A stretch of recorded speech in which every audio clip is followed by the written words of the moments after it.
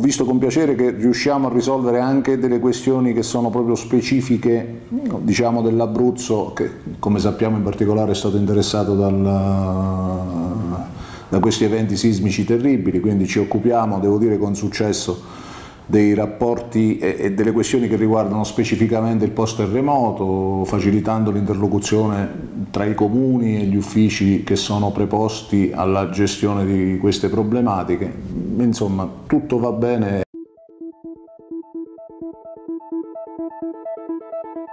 Le specificità sono mm, tante, sono tante e, e devono essere eh, tutte quante risolte caso per caso, ma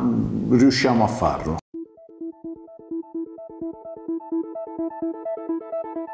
Il difensore civico viene chiamato in causa, ha delle competenze, le applica e se ne occupa. Eh, se ne occupa nell'ambito dell'attività eh, riservata dalla legge, se ne occupa per il tramite delle commissioni miste conciliative che adesso la Regione Abruzzo sta provvedendo a riavviare, potrebbe occuparsene di più e meglio, ed è auspicabile che questo avvenga, se la Regione Abruzzo oh, deciderà di nominare il, il, difensore civico garante del diritto alla salute, usufruendo della uh, possibilità che gli è demandata dall'articolo 2 della legge 24, della cosiddetta legge Gelli. È una chance che alcune regioni in Italia hanno sfruttato, io so che l'argomento è anche all'ordine del giorno della conferenza dei presidenti dei consigli regionali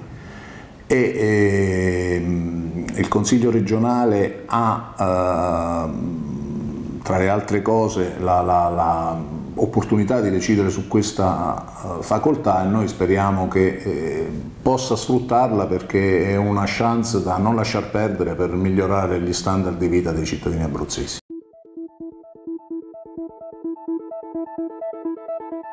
Il difensore civico è un'attività che eh, soprattutto si muove sulla base della moral suasion, con eh, l'istituzione di questa legge attribuendo specifici poteri di intervento, poteri di ispezione, tanto per dirne una, ad esempio, ovviamente le possibilità di intervento sarebbero maggiori e più efficaci.